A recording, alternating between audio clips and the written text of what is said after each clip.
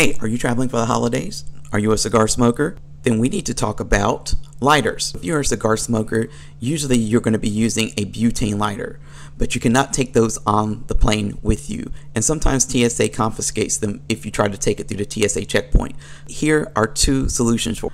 The first solution is to take your cheapest lighter, a soft flame lighter, and pack this into your check bag. Here's another option.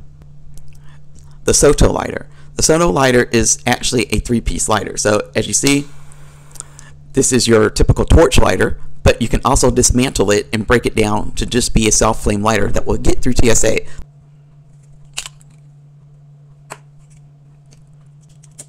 So the Soto lighter is great for those who love torch lighters.